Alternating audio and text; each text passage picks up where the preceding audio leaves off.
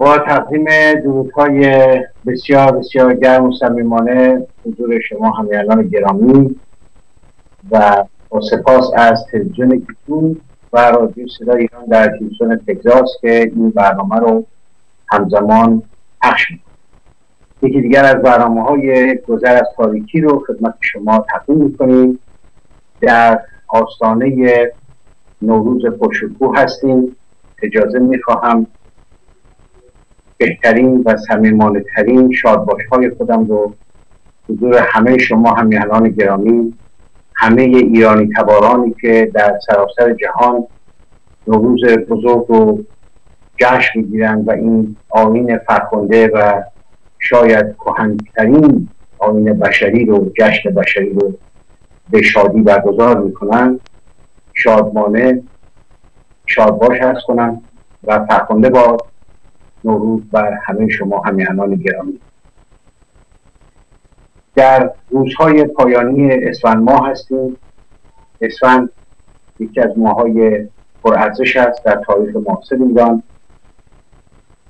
خیزش رضاشاه بزرگ و کودتای سوم اسفند در این ماه رخ داد. کشور ما که یک باره در تاریکی و گمراهی و جهالت و عقب ماندگی از جامعه جهانی به سر می برد. با پیدایش این رادمرد بزرگ و با به دست گرفتن حکومت از سوی او مسیر دیگری رو آغاز کرد و زمانی که رضا شاه در دوران جنگ جهانی دوم ناگزیر شد که خاک میهن رو ترک بکند کشوری که به او به ارث رسیده بود تبدیل شده بود به گلستانی در برابر آنچه که او تحلیل گرفته کشوری پیشرفته سراسر امن و در حال رشد و توسعه. همچنین در اسفند ما زادروز تولد اون رادمرد بزرگ تاریخ ایران است رضا شاه بزرگ کسی که به حق می‌توان او رو پدر ایران نوین نامید. و من بسیار خرسند هستم از اینکه می‌بینم روز به روز جوانان ایرانی آنانی که به ایران عشق میورزند و با عشق به ایران زندگی می‌کنند بیش از گذشته علا رقم همه تبلیغاتی که جمهوری اسلامی در این سالها به کار برده است و یا جناهای چپ و راست فکری و یا همه دشمنان سوگند یاد کرده خاندان پهلوی و یا تبلیغات سوء استعمار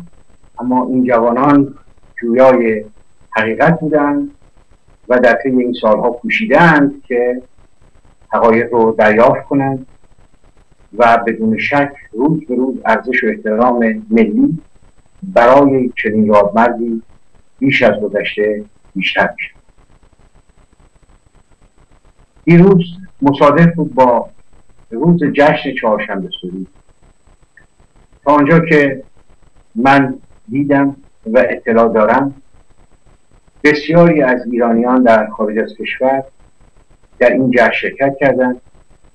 و با شادی و سرفرازی این جشن ملی رو آغاز کردند و پایان رساندند و جالبتر از همه این بود که این جشن تو بود با خواندن دست جمعی سرود ایران و به احتزاز درآوردن های سرنگ شیر و خشیدشان و استقبال عمومی که سال به سال بیشتر می شود نوید بخش این است که ملت ایران در صدد است که کشور رو بار دیگر از دست اهریمن صفتان نجات دهد. شاید این سوال پیش می که اگر ملت ایران این چنین از جشن های ملی استقبال می کنند چرا در مراسم سیاسی شرکت نمی کنند و اون استقبالی رو که بایستی از مراسم سیاسی به عمل بیاورند ما نمی بینیم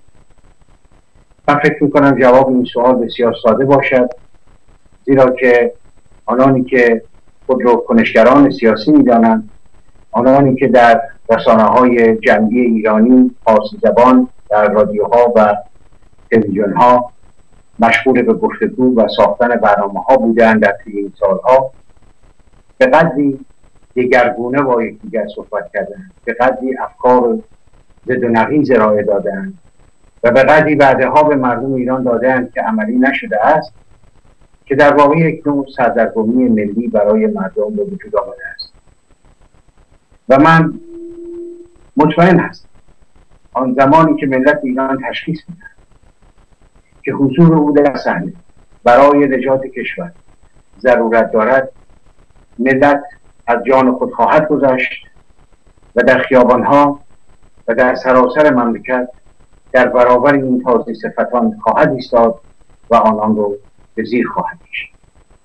و آنچه که ما در شکوه و استقبالی که مردم از این جشن ها می‌کنن می‌بینیم علا رقم همه آنچه که حکومت سعی می‌کند و سعی کرده است از آغاز پیدایش که در ابتدا این جشن ها رو جشن های حتی غیر انسانی غیر واقعی و ابلهانه خطاب بکنند و آخوندهای ریز و درشت در این مورد به کراز ملت ایران احانت ها کرده اند و اینها رو خرافات بیش ندانسته اند اما دیدیم که مردم مقاومت کرد. و استقبالی که روز به روز بیشتر شده است از این جشن نشان می‌دهد که ایرانیان دگرباره متوجه خیشتن خیش شدن. متوجه آین های کهن شدن به این معنی است که دارند به هویت ملی برمیدن چون یکی از ارکان هویت ملی همین بزرگداشت آین هاست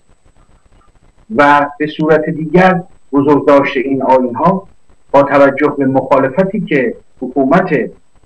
حاکم بر ایران دارد به نوعی نافرمانی مدنی گسترده است. سالهاست در جریان است و روز به روز رنگ بیشتری خود و همین نشانه امیدواری است و این نوید را به ما می‌دهد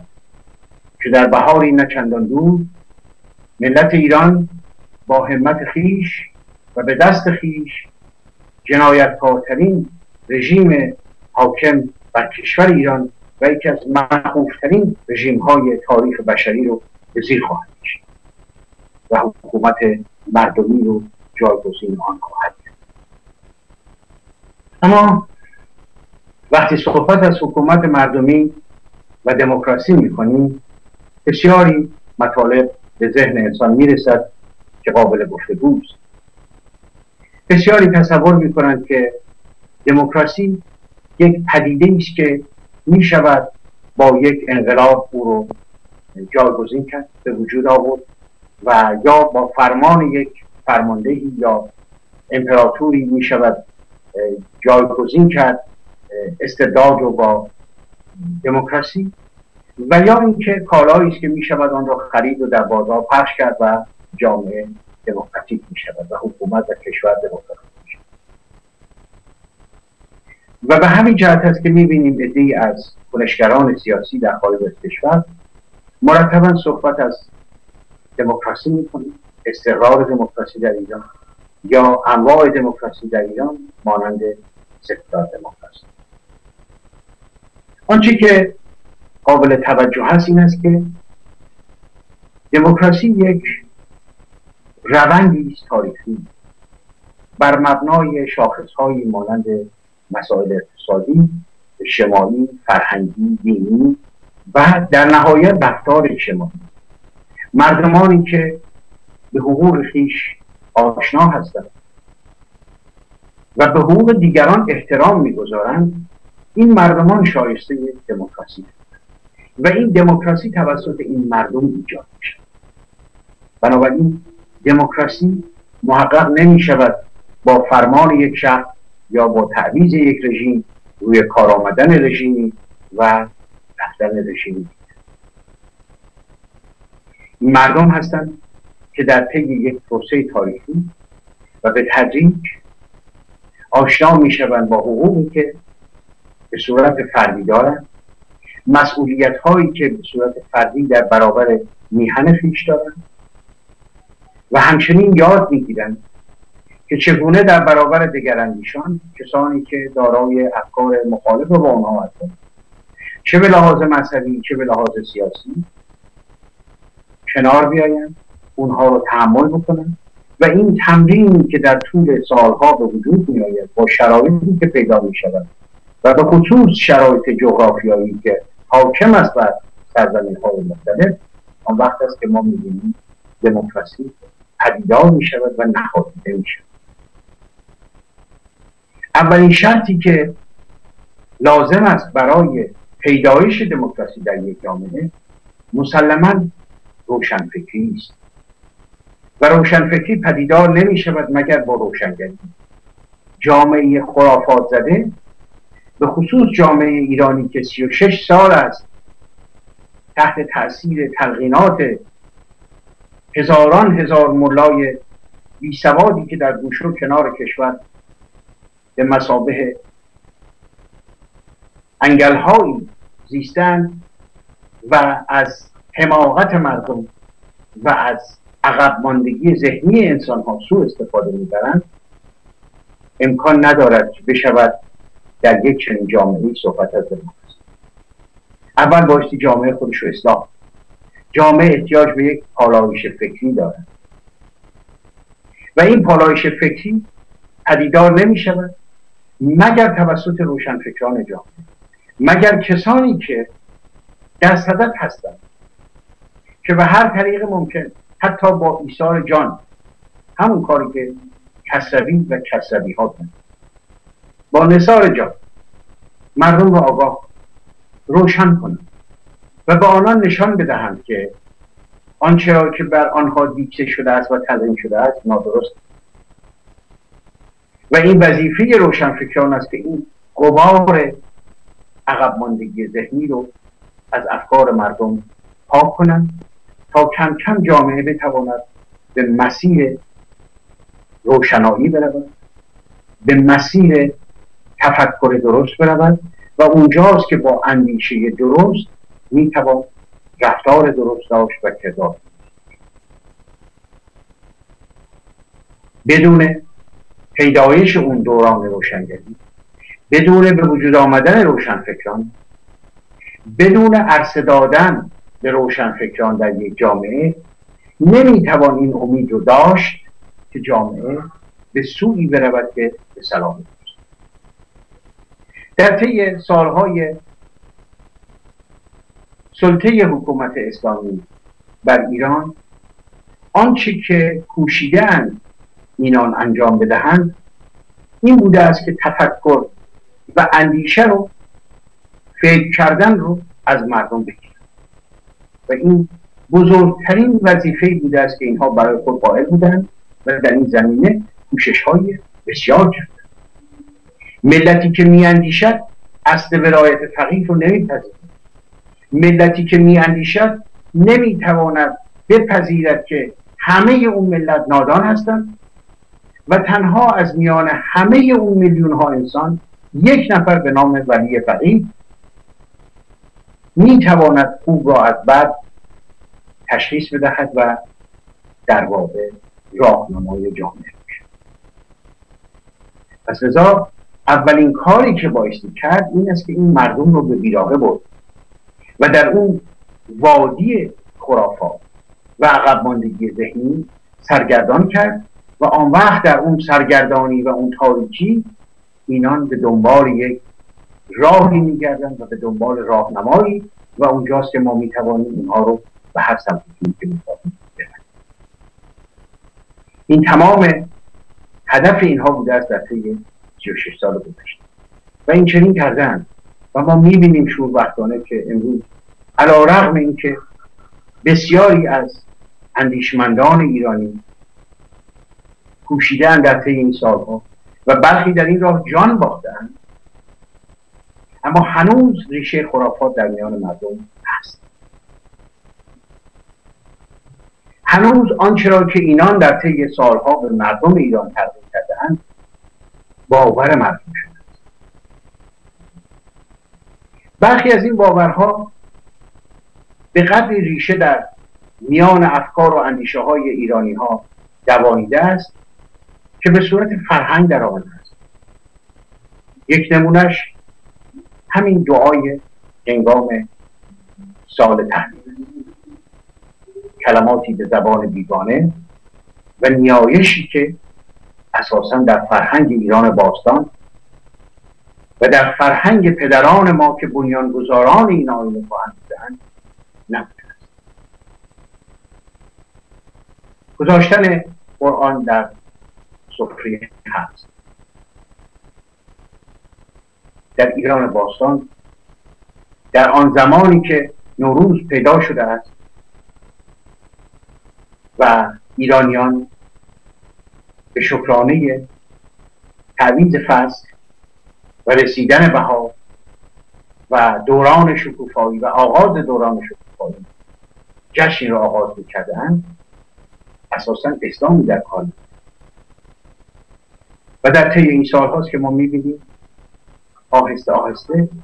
ایرانیان برای اینکه بتوانند در برابر یورش تازی آینهای خودشون رو حفظ بکنن ناگزیر شدن که اینها رو آمیخته کنند با مسائل عربی و اسلامی و کم کم اینها به صورت فرهنگی در آمده است و خوشبختانه آینها رو ایرانی ها حفظ کردن. آینهای کهن همچنان باورجاست و این بخش از هویت ملی همچنان استوار وجود دارد و وجود دارد و پشتوانه بقای ایران ایرانی اما در این حال شوربختانه آمیخته شده است با آنچه که نمی باشده آمیخته بنابراین شاید عوض کردن این وضعیت و دگرگون کردن این حالت در یک شب و دو شب و یک سال و دو سال امکان پذیر نیست. اما به تدریج اندیشمندان ما روشنفکران ما بایستی با استدلالات درست و منطقی و تاریخی سعی کنند که فرهنگ اصیل ایرانی و اون آینهای کهن رو مجددا به اون شکلی که بوده است بازسازی کنند احیا کنند و ایرانیان بدانند که یکی از بزرگترین ارکان باقی ماندن آنها در صحنه علا رقم همه توفان هایی که بر ایران گذاشتن یورش هایی که بر ایران شده و تمام صدماتی که در دوران های پیشین در صده های پیشین به علت حجوم و یورش اقوام بیگانه و عمدتا اقوام وحشی و بدوی به ایران صورت گرفته است و چه آنچه که در صده های 19 و 20 و اکنون توسط استعمار جهانی بر ایران روا شده است. همه اینها طوفان بوده است که می توانسته است ایران برباده باشد. می توانسته است هویت ما رو یکسره برباد بده اما همین آین ها احترام ایرانیان به آین های نیاکانشان و بزرگداشت این جشن ها و آین ها بوده است که ما رو نگه داشتن. بنابراین هر چقدر ما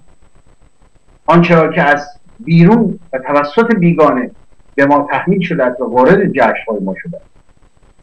پالایش کنیم. تصفیه کنیم و بیرون بریزیم. و آنچه که حقیقتا رنگ و بوی ایرانی دارد رو نگه داریم. مسلم است که به مانند تضمینی است برای بقای خود و برای بقای سرزمین. بر هیچ کس پوشیده نیست که از سال 1357 به این سو اینا نهایت تلاش خودشون رو به کار بردن که نوروز رو از میان برد و روز شوم 22 بهمن رو جایگزین نوروز بود. اما این ملت ایران بود که ایستادگی کرد. و نگذاشت چنین اتفاق بیفته پس از اینکه اینها متوجه شدند که در مورد آینهای ایرانی نمی‌توانند با ملت ایران شروع کنند آن وقت سعی کردند که این آینها رو مصادره کنند. بعد به گونه عمل کردند که هر جشن ایرانی رو مصادف کردن با یکی از روزهای ازاداری اسلامی. و از مردم خواستند که جشن و سرور برپا نکنند به این مناسبت یا این هم کارگر نشد و نه تنها مردم توجهی به خواستهای حکومت قاسب نکردن بلکه با شدت و حدت بیشتری این جشن ها رو برگزار. آن وقت به این نتیجه رسیدن که بهتر از این جشن ها رو مصادره کنیم و هر کدام رو منتصب کنیم به یک واقعی تاریخی اسلامی و بگوییم که بله این مردمانی که امروز جشن می‌گیرن و این جشن رو برگزار می‌کنن یا جشن صده یا مهرگان یا نوروز یا غیر ذالک اینها همه جشن است که به یک دلیل خاصی در اسلام بوده است و مردم ایران اسلامی اسلامی فکر می‌کنن و این جشن رو به این ترتیب برگزار یعنی ملاحظه بفرمایید. تمام کوشش اینها این بوده است که هویت ما رو هویت ملی ما رو از چرا؟ دلیلش واضح هست برای اینکه دیگر ما ملت ایران نخواهیم بود. ما امت اسلامی میشه. صد البته که استعمار هم به این حرکت کمک می‌کنه چون استعمار هم امروز به خصوص با این مسائل جهانی شدن و نظم نوین جهانی به خصوص مخالف با ناسیونالیسم مخالف با ملیت است مخالف با ملیگرایی است. و بیجا نیست که می‌بینید امپریالیست ها و استعمارگران اینها در سمت و سوی می‌روند که رژیم رو از این جهت و بسیاری جهات دیگر تشویق و تبدیل. و در نهایت هدف این است که ما ملت سرگردانی بشویم هویت خودمون رو از دست بدهیم و در نهایت جمهوری اسلامی آنگونه که می‌خواهد بر ما حکومت کند و یا آنانی که به دنبال استقرار نظم نوین جهانی هستند به آن شکلی که می‌خواهند ملت ها رو تحت امر خود داشته باشه بنابراین به صرف اینکه ما نوروز رو فقط به دیگر شادباش بگوییم کافی نیست. بایستی به این معنا پی ببریم که نوروز دارای چه ارزش معنوی برای ما نوروز چگونه توانسته است که ما رو در بره های خطرناک تاریخ حفظ بکنه؟ نوروز چگونه توانسته است هویت ما رو نگه دارد؟ نوروز چگونه توانسته است با رفتن به تمام سرزمین هایی که ایرانیان و یا ایرانی تباران و یا کسانی که به هر شکل و گونه ای تحت تاثیر فرهنگ کهن ایرانی هستند اینان رو مثل حلقه های زنجیر به دیگر منتصب وقتی جشن های نوروزی در سرزمین های مختلف در ازبکستان در چین در هندوستان در پاکستان در افغانستان در ایران در تاجیکستان جشن گرفته می شود در بسیاری نقاط در سراسر اروپا و آمریکا امروز ایرانی تباران نوروز رو جشن و این یک حلقه ارتباطی میان این مردمان بنابراین ارزش نوروز برای ما ایرانی ها بیش از ارزش یک جشن یا یک دید, دید و بازدید معمولی است. نوروز یکی از ارکان استقلال است. نوروز یکی از مهمترین ارکان پایداری ماست به عنوان یک ملت و حفظ سرزمینمان ایران. لذا من بسیار خرسند هستم که در آستانه بهار ما یک بار دیگر به پیشباز نوروز می رویم و این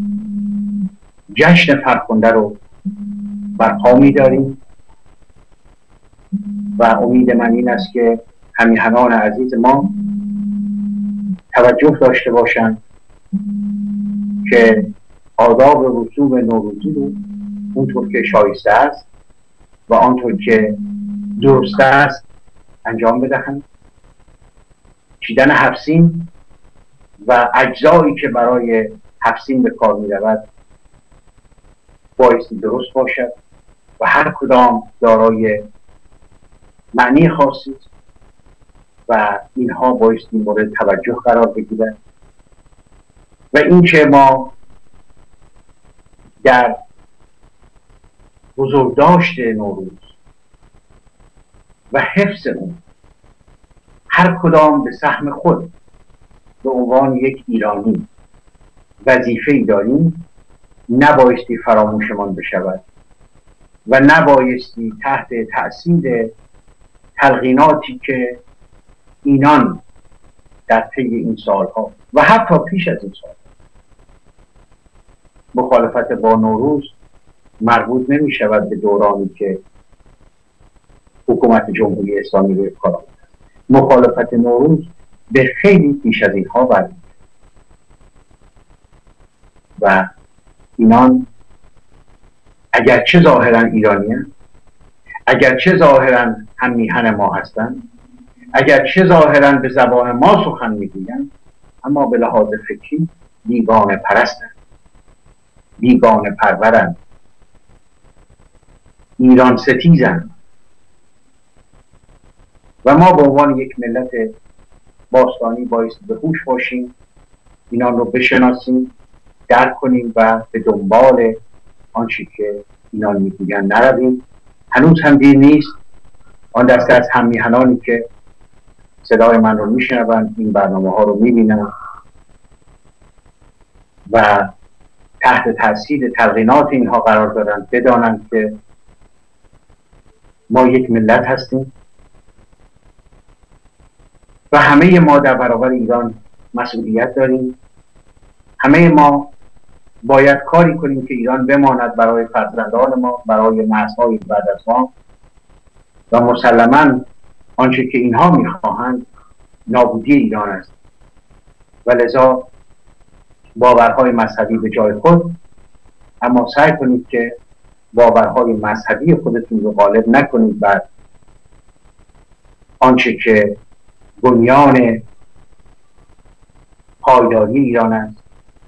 بنیان حیات ایران است و زندگی ایران است و بدانیم و بدانید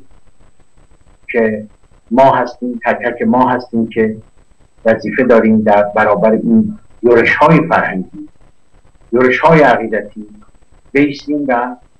کشورمون و آداب و رسولمون رو حفظ این برنامه چون اختصاص دارد به برنامه نوروزی